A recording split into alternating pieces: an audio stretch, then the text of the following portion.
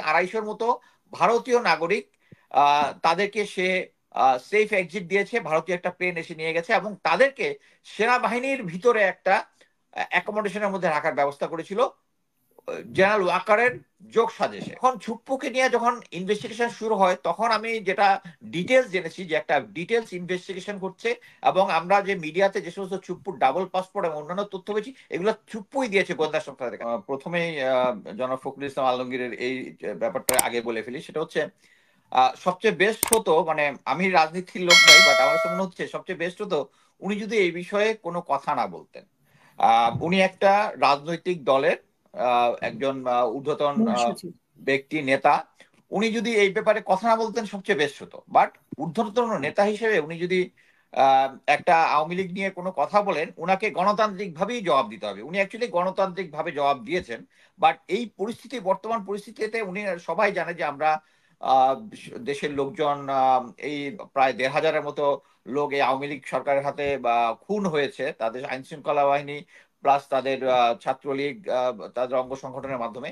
তো এই মুহূর্তে এটা না বলা হচ্ছে বেশ ছিল, তবে আমি এর আগে আমার কয়েকটা লেখায় আমি বলেছিলাম যে আওয়ামী লীগ এবং বিএনপি দুটার মধ্যেই প্রো ইন্ডিয়ান লোকজন আছে। এই লোকজন তাদেরকে ভিতরে মানে ইনজেক্ট করে দিয়েছে যে ইন্ডিয়ার সাপোর্ট ছাড়া আমরা কোনো রাজনৈতিক দল তাদের ক্ষমতায় বেশি দিন থাকতে পারবে না। অ্যাকচুয়ালি এই কথাটা আমি আগে বিশ্বাস করতাম না বাট এখন বিশ্বাস করা শুরু করছি। প্রেজেন্ট যে সিচুয়েশনটা আছে, এটার উপর নির্ভর করে। আমি তখন প্রেজেন্ট সিচুয়েশন আসতেছি।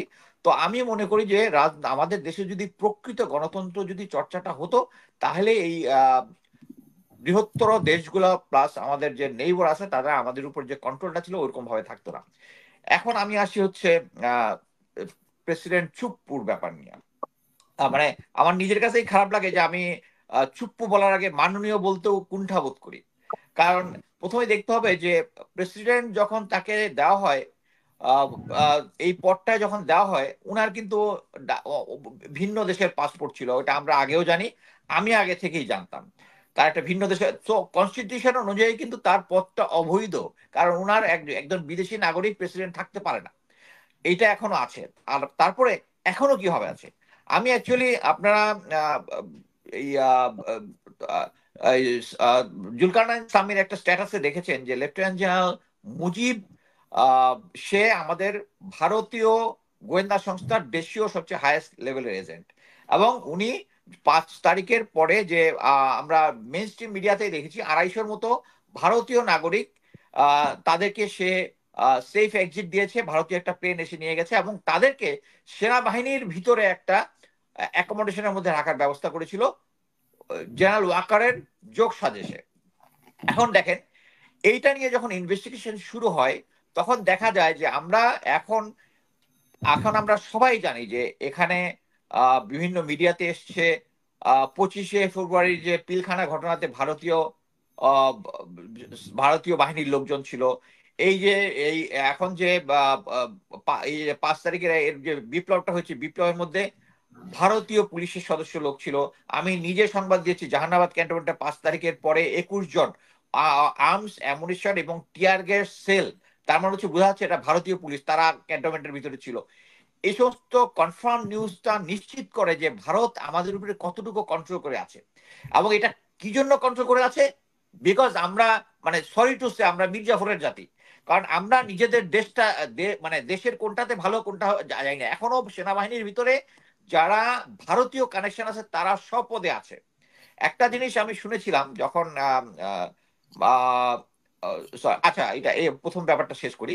যখন ছুপ্পুকে নিয়ে যখন ইনভেস্টিগেশন শুরু হয়, তখন আমি যেটা ডিটেলস জেনেছি যে একটা ডিটেলস ইনভেস্টিগেশন করছে এবং আমরা যে মিডিয়াতে যে সমস্ত ছুপ্পুর ডাবল পাসপোর্ট এবং অন্যান্য তথ্য পেয়েছি, এগুলো ছুপ্পুই দিয়েছে গোয়েন্দা সংস্থাদের কাছ থেকে।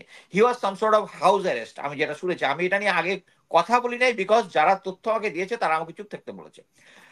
কিন্তু তারপরে দেখা গেলো এইটার সাথে হচ্ছে জেনারেল লেফটেন্যান্ট জেনারেল মুজিব তারপরে লেফটেন্যান্ট জেনারেল শাহিন।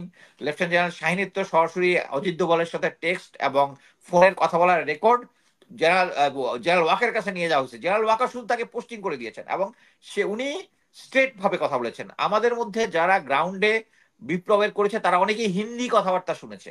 সো এত কিছুর পরে আমাদের ভিতরে যে ভারতীয় আধিপত্য বোধ এমন ভাবে ছিল এবং তারা যখন নিশ্চিত হয়েছে যে শেখ হাসিনা পতন হয়েছে তারা কিন্তু একটা প্যানিক সিচুয়েশনে ছিল। প্যানিক সিচুয়েশনে কি এখনই বোধ হয় নেক্সট যে যে এই সরকার পতনের পরে যে দলটা আসবে এরা আমাদেরকে যে আপনার যদি মনে আছে যে ওবায়দুল কাদের থেকে শুরু করে সবাই বলেছিল পাঁচ থেকে দশ লাখ লোক মারা যাবে। কি জানো? কারণ মানুষের ভিতরে আউটরেজ যেটা এটা থাকার কথা ছিল। কিন্তু আমি একটা জিনিস বলি যে এই ওরা আমাদের দেশটাকে যে পর্যায়ে, ভারত আমাদেরকে কন্ট্রোল করতে করতে যে পর্যায়ে নিয়ে গেছে এবং তাতে সাহায্য করেছে কি? এই জেনারেল ওয়াকার থেকে শুরু করে তার যে অধস্তন বাহিনী, গোয়েন্দা সংস্থাগুলো আছে, সবগুলো এখানে সাহায্য ইয়ে করেছে।